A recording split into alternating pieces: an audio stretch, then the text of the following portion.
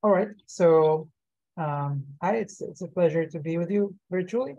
And so um, uh, today I'm talking about our paper, Relative Positional Encoding for Transformers with Linear Complexity. So this is a work that uh, was done during my PhD at uh, Telecom Paris, uh, which was supported by the MIP Frontiers uh, training project. And uh, it was a collaboration between different French uh, and, and uh, Taiwanese research institutions. And this, this paper is not exclusively on music, uh, but uh, because of the theme of this uh, reading group, I, I will focus on our music generation experiments. And I will also mention uh, some follow-up results, which hopefully should be interesting to you as well. So let's get started with uh, some context for this work. So um, when uh, we talk about music generation nowadays, uh, usually it, it, involves some kind of uh, transformer-based model. So uh, hopefully most of you have already um, heard something about the transformer. So is is a model that is being widely used for music for, for text generation, but we can use it to generate music as well uh, if we uh, find a way to represent music as a sequence of discrete tokens, right? And so then uh, basically we feed this model with this sequence of tokens one by one, and the model is trained to always predict the next token given uh, the history of all the previous ones. And this way uh, we can then uh, iteratively generate new music from the model uh, simply by this by this in this autoregressive way. And um, now, if you look uh, at this representation, this is just one one of uh, many possible representations. But uh, usually, it is it is based uh, on some on some events. So uh, you can see that we have like note on events here, note of events, and then some special tokens for representing timing. So usually we will have between two and three tokens per note, maybe more uh, if we want to represent also other kinds of information. And uh, this means that the sequences can get very long, especially if we want to do uh, polyphonic music or even multi-track music. And the problem with transformers is that they do not scale so well with, uh, with sequence uh, length. Unfortunately, there has been an effort to design more efficient transformer architectures and uh, in particular these uh, linear complexity transformers that we're going to be talking about today. Another um, important part of, of uh, the transformer architecture are positional uh, encodings. So uh, this is this is usually considered a necessary part of the transformer architecture uh, since the the attention mechanism, which is sort of the core um, mm, component of, of the transformer, is uh, a, a, permutation invariant operation. So we need to add some notion of order, and so we inject usually uh, in the, this in the form of positional encodings, which are just some vectors that encode the raw indices of the tokens within the sequence and we just add them to these to the embeddings of, of the input tokens. And this is uh, usually called uh, some or sometimes it's called uh, absolute positional encoding or APE. And there are other other variants of positional encoding like relative uh, positional encoding or RPE, which uh, also can uh, in, encode some sort of musically meaningful positional information. And it there has been work that uh, that uh, shows this is the, the, music transformer paper, which uh, suggests that this is actually something that we want to do. However, uh, this comes at some computational cost, and in particular, RPE is not compatible out of the box with linear complexity transformers. And so this is uh, the core problem that we are uh, addressing in this paper. So basically, um, what I will talk about first. Um, uh, what we did in this paper is we we applied uh, linear complexity transformers to music generation. And uh, to our knowledge, this was the first time that this has been done. We also uh, propose uh, to, to address, to bridge this gap between, uh, between RPE and linear complexity transformers, we propose stochastic positional encoding or SPE, which uh, is a kind of positional encoding that behaves like a relative positional encoding, but is compatible with uh, these efficient transformers. And then in the last part, uh, I will uh, talk also uh, about some uh, follow-up results, which question a little bit the role of positional encodings in music generation and uh, explore some, some alternatives. Uh, let's talk about the background. And so let's talk about the transformer self-attention. So in the transformer, the, the core part of the transformer is the self-attention mechanism. And um, the, the input to this is some sequence of vectors, uh, some feature vectors, and uh, we have uh, one feature vector for each element in the input sequence for every token. And then uh, the attention mechanism is sort of like, uh, like a soft dictionary mechanism. So we have some, we uh, compute some queries, some keys and some values based on these, based on these input feature vectors. And then basically we the attention uh, uh, tries to match these queries with these keys and then retrieve the corresponding values. Uh, this is one way to imagine attention. So basically we compute this, this attention matrix right here, which is just a matrix of dot products um, of all the queries with all the keys. So it is kind of a uh, similarity matrix between the keys and queries. And then um, we run this through the softmax. So there is exponentiation and there is some normalization. And then uh, we multiply this with the value matrix. So this uh, basically selects uh, the corresponding values. And this way we obtain the output uh, at, at each position. And as I said, uh, there is uh, also the concept of positional encoding, which is uh, which is usually added uh, directly to the uh, to the to the input of the first layer of of the transformer, and uh, this is these are just some vectors that depend uh, only on position, um, and uh, one one disadvantage of this, which is known, is that it doesn't extrapolate extrapolate well to longer sequences. So let's say if we train on sequences of length 1024, and then we apply the transformers. Uh, we, we try to generate sequences that are longer, let's say 2048, uh, it will usually fail because the transformer overfits to uh, the positions that were seen during training. And one technique to alleviate this is uh, relative positional encoding, which basically says, well, we don't really care about absolute positions, but rather we care about the position differences or lags. And so instead of adding this absolute position information to the input of the, of the network, we will instead add some uh, relative positional information to the attention matrix in, in some shift invariant way. So basically here we have the uh, dot product matrix uh, and we add to it some other matrix, which uh, basically depends on the differences between uh, the indices and not on the absolute indices.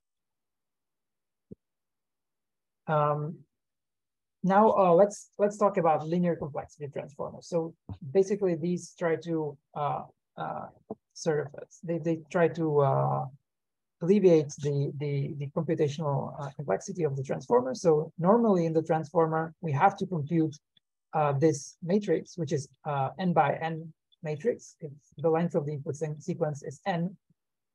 And um, uh, so it the, the complexity of the self-attention mechanism is, is n squared. And what linear transformers or linear complexity transformers do is they decompose this attention matrix uh, into two smaller matrices, one of which depends only on the queries and the other one only on the keys. And they depend uh, on them via this feature mapping phi. And then it turns out uh, that if we choose uh, this um, mapping well, we can actually uh, approximate uh, this, this original attention matrix. And notice that after we apply this mapping, everything here is linear. These are just matrix multiplications. So we can uh, rearrange this expression and we can first multiply the keys with the values and then uh, multiply this result with the queries. And all of these operations have, have linear uh, time and space complexity. So uh, this allows us to uh, compute some kind of approximate attention in, in linear, linear complexity. Uh, another a nice property uh, is that not, not only we can we train these models fast, we can also generate efficiently. Um, so basically, normally in the transformer, when we try to generate the new token, um, we have a new query that we are uh, that we are uh, that appears, and we need to compute the attention of this query to all the past keys and values in order to compute the new output. However, in linear complexity transformers, uh, we can uh, aggregate these keys and values into some matrix which does not depend on the sequence length. So this is some kind of state, uh, a bit like an RNN state. And so then uh, this is the only thing that, that we need to keep in memory as we are generating. And so uh, we can then uh, generate in, in, constant memory and constant time per token um, uh, regarding the, the length of the input sequence. Uh, so this is nice, but now, uh, as I said, linear complexity transformers are not, not compatible with RPE. And why is that? Well, because to compute RPE, we need to access the attention matrix in order to augment it with dispositional information. Uh, for that, we need to compute the matrix, but this is exactly what linear complexity transformers are trying to avoid. So uh, this is what we are uh, addressing here. We want to come up with a relative positional encoding that will be uh, compatible with uh, this way of computing attention. And so we propose stochastic positional encoding or SPE. And uh, to understand how this works, let's take a closer look at RPE again. So relative positional encoding, uh, this is the same, but just uh, written written out. So we have this uh, this is our, uh, our attention matrix, queries uh, times keys. And we add to this some terms, and each term uh, corresponds to one dimension of, uh, of the key, uh, sorry, of the query vectors. And for this dimension, we have something called a positional kernel, which tells us how this particular dimension of the queries um, responds to different uh, different uh, relative positions, different uh, differences in positions.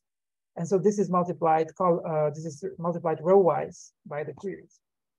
Now, we propose a slightly modified version where instead of adding this, we uh, insert uh, the, the positional kernel in between the queries and keys. So if you look at this, this is basically uh, this is basically uh, the matrix multiplication between the query matrix and the key matrix, but we insert in between this, this uh, coefficient that depends on the uh, on the relative position uh, of the key to the query. And so now this is the expression that we want to compute, right? But uh, now this is this is, uh, we don't know yet how to do this in linear complexity. Uh, so our goal is to rewrite this in this form so that uh, we can then plug it, plug it into the linear attention mechanism. Right, so we want to rewrite this approximately in this form, where this Q hat are some modified queries uh, and K hat are some modified keys uh, that we then uh, use in the attention mechanism. And to uh, how do we construct those? Well, uh, our goal here is to decompose this uh, positional kernel, P sub D, as a product of some query positional encodings and uh, key positional encodings, right? So this is basically some, uh, this uh, is a part that will go with the queries. This part will go with the keys. And then um, we can uh, we can uh, we will use this query positional encoding to augment our queries. uh, we will use the key positional encoding to augment the keys. So this way we'll, we'll get this Q hat and K hat. And then uh, it turns out that if we multiply those together, we will get the desired pattern in the positional and in the in the attention uh, matrix. And uh, how we construct these positional encodings is by sampling for some from some stochastic processes with uh, cross covariance P sub D, right? And so this ensures that if we if we multiply these things together, on average, we get uh, we approximate uh, this positional kernel. And I will not go into detail about how exactly we construct these stochastic processes, but I will say that we, we propose two variants um, of SPE.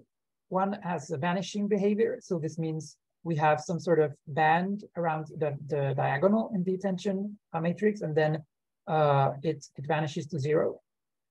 And uh, this is this is based on some convolutional mechanism.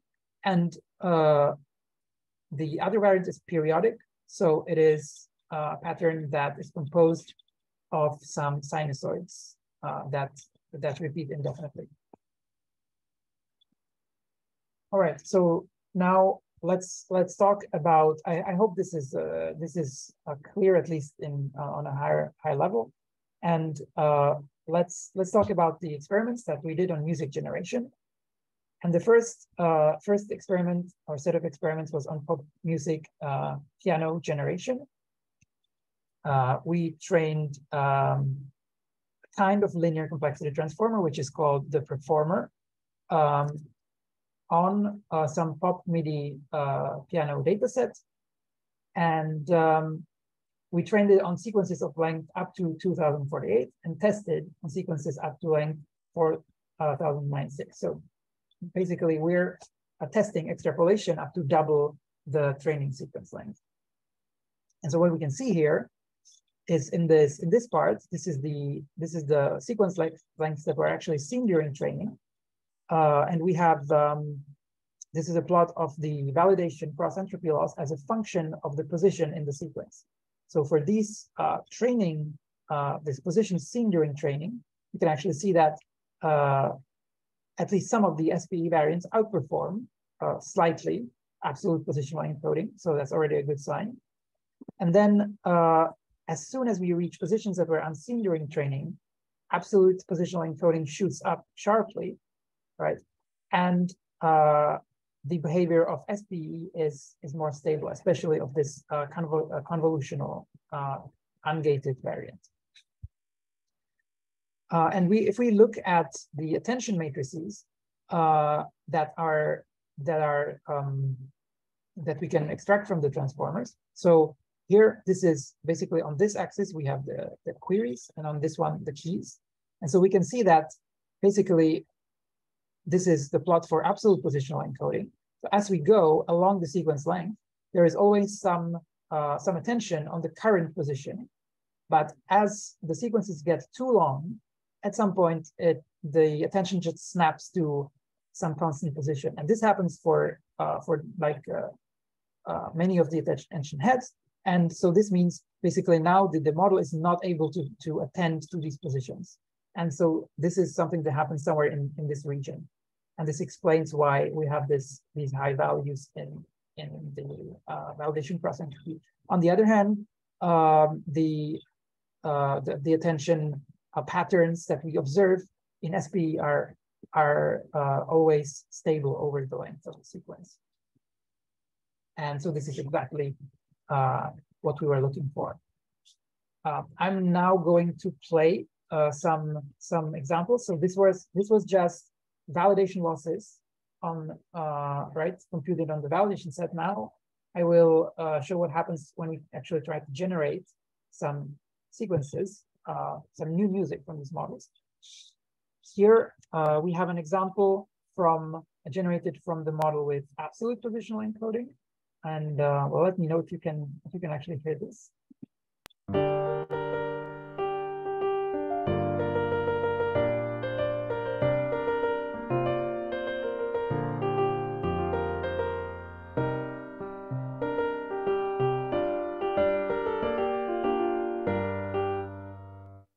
Um, so so far so good.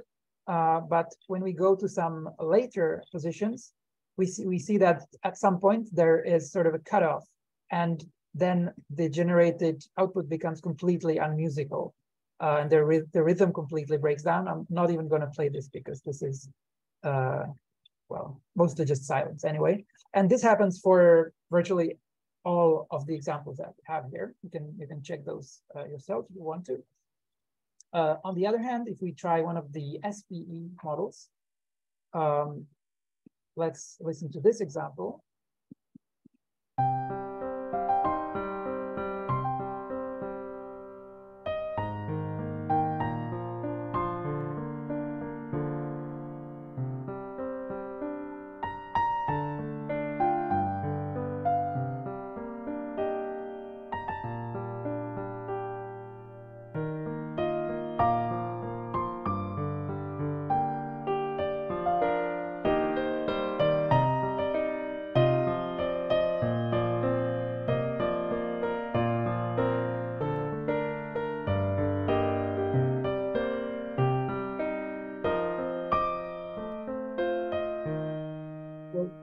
You can hear that uh, up until the end of the of the piece, it it um, it sounds uh, very much musical, um, uh, basically as, as as we saw in the.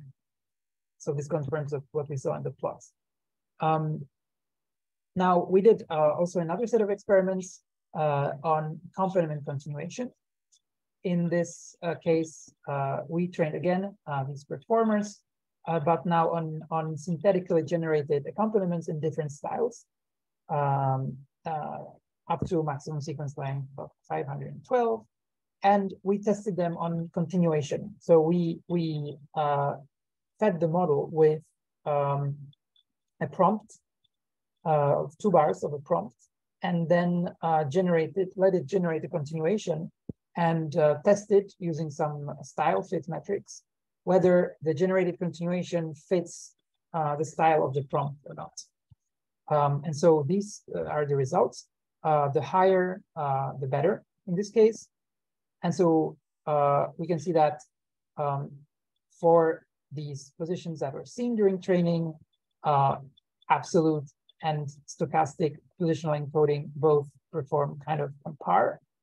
however, um, for later positions, um, which were not seen during training, the uh, the performance of AP again drops quite uh, drastically, while uh, the performance of SP stays more stable.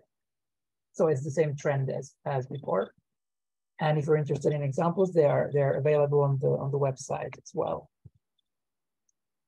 So now I would like to talk about uh, the follow-up experiments that we did. Uh, these are not part of the paper anymore, but uh, they're included in my PhD thesis. Uh, so I encourage you to uh, check this out if you're, if you're interested. And basically, the first question that we try to address is, is positional encoding even necessary for music generation? Um, what happens, uh, what happens if, if uh, we get rid of it, right? And so, so the, uh, the conventional answer is yes, it is necessary because otherwise uh, there would be no notion of order um, in the computation of the transformer. However, it turns out that for causally masked transformers, this is actually not the case. The positional encodings are actually not necessary. Um, and so why is this the case? Well, let's just take a look at what this causally masked attention looks like. We have here um, the queries and the keys. And so basically this uh, causal masking just makes sure that uh, we cannot query something that is in the future. So all the keys uh, that are uh, have later uh, greater positions than the query are masked out. The first key, first query can only access the first key. The second query can only access the first two keys, etc. And so what every key sees, uh, every key basically sees one more key than the previous one.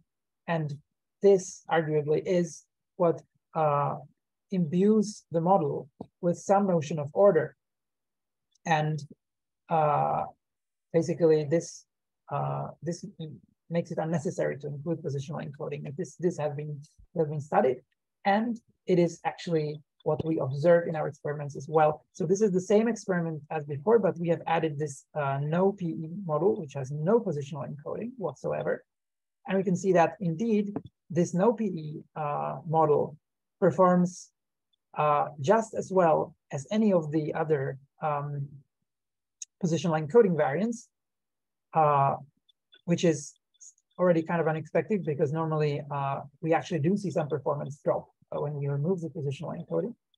And secondly, uh, it, it has the same stable uh, behavior for, for these later positions, for this extrapolation um, So uh, this is this is very interesting, right? So basically, what what this tells us, I think, is that um, these index-based positional encodings are not necessarily very useful for music generation, or at least on this particular uh, in this particular case.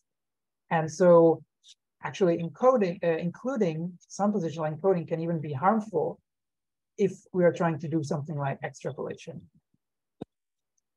So, uh, all right. So, if this is the case, uh, our next question was, can we uh, repurpose these classical positional encodings in a musically meaningful way. So if you look at uh, the sinusoidal, classical sinusoidal APE, uh, it's computed like this. So it's just some uh, set of sinusoids at different frequencies uh, as a function of the position.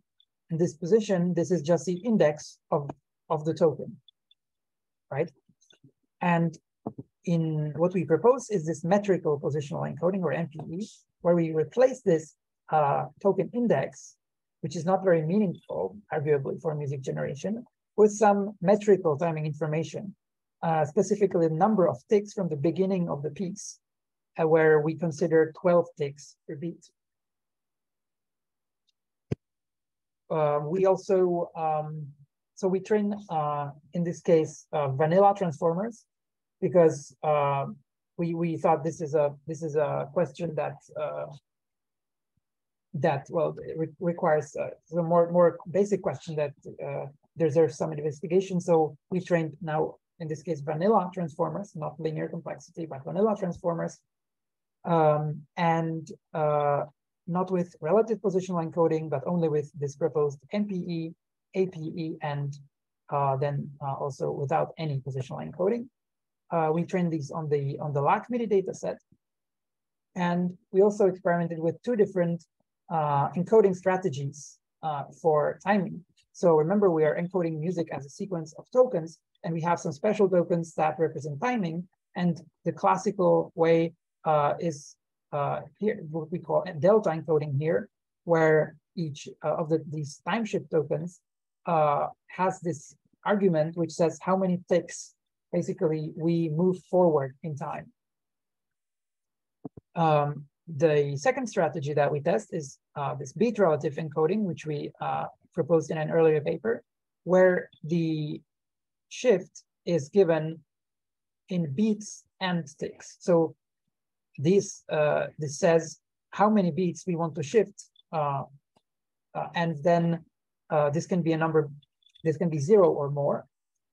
Uh, and then the ticks argument says uh, which which tick within the beat what we want to land on. So this is sort of this is relative to the beginning of the beat.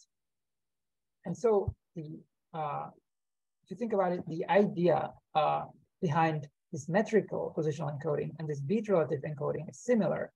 We are we are providing the model with some sort of uh, metrical grid. We are we are saying uh, we are providing it with the information with where the beats are. And uh, we think that this can help the model um, basically get anchored to this metrical grid and, and uh, that should help it, that should prevent it from making timing errors. Okay, so here are the results. First, let's look at uh, the model cross entropies. Um, and um, now, uh, so this is, uh, here is the, is the tokenization strategy, right? And this one is what kind of information we encode in the um, sinusoidal positional encoding. These are two independent things. So first, uh, we observe that APE and MPE perform kind of the same in both cases, with APE being slightly better. Um, and no PE actually uh, is uh, quite substantially worse. The difference is much bigger than between these two. So actually we see that uh, the positional encoding does make does make some difference and it, it apparently makes the learning task uh, somewhat easier because we, we obtain uh, we obtain a lower uh, loss. However, the situation is different if you look at if we try to actually generate uh, some music from these models. So we again performed a, a, continuation experiment where we give the model a prompt, we generate a continuation, and we test uh, how well it fits the style of the prompt. And uh, here are the results. So what we can see, are, these are the same metrics as before. Uh, there is one additional metric here. And so what we can see is that basically uh, this proposed metrical positional encoding uh, does help in this case. And uh, the, the winner overall seems to be this delta encoding with uh, MPE, which is interesting. And um, I guess it's uh, the, the, the thing here is that this delta encoding is something that is easy to predict. Uh, it's it's an it's a it's a simple linear representation. However, we still uh, inform the model um, about the position within the metrical grid via this metrical positional encoding. And that's what uh, makes it perform well. Uh, another interesting thing is that uh, absolute positional encoding really performs uh, quite badly. Um, and I don't have a clear explanation for this, but it's possible that uh, this index information is just pretty irrelevant for, for the generation. And I don't know, there might be some overfitting at play or, or something like that. Um, finally, I want to say uh, this whole analysis should be taken with a, with a grain of salt. It's just a quick, uh, quick follow-up experiment. Uh, we didn't do any hyperparameter tuning uh, for each of the models. We didn't also tune the uh, parameters of the sampling procedure, like the like the softmax temperature and, and top K sampling uh, parameters or top P sampling parameter. So uh, this is something that we might want to do. But still, uh, this raises interesting questions. I think that uh, merits some further investigation. Um, so to wrap up, basically what we have seen is that first, linear complexity uh, transformers uh, do work for, for music generation. Um, and um, I'm looking forward to seeing uh, some more work that, that explores this. Um, regarding our, our proposed SPE, uh, it is, this is a mechanism that enables uh, relative positional encoding within uh, linear complexity transformers and even though our follow-up experiments cast some doubt on the overall role of positional encodings in uh, music generation, we saw that uh, uh, SPE did help in, in some of the experiments, uh, even just for uh, in terms of the loss values. And moreover, we have other results in the paper, which I did not show here, uh, which are on non-music tasks, where the position where positional encoding is actually necessary in order to solve the task. So, um, and on these this uh, benchmark, uh, the, the, results are promising as well. I also want to say that SPE is not the only effort in this direction. There are uh, there have been other papers uh, that uh, also um, try to somehow implicitly uh, induce some positional patterns in the attention matrix. Um, so uh, I encourage you to, to check those out as well. And finally, um, I think we should uh, question our, our assumptions and practices around transformers. And, and in particular, we, we, we have seen that positional encodings are not set in stone. We can get quite creative in what kind of information uh, well, we use them to, to represent. Uh, in some cases, we might not need them at all. Um, and also there is no reason why we should stick to sinusoidal ones um, or index-based ones. Uh, uh, this can this is this is uh, something very open and um, yeah. So um, uh, I would like to to end here and um, thanks thank you for your attention. And I'm looking forward to your questions. And well, here I'm showing the URLs of with the examples uh, if you want to check those out.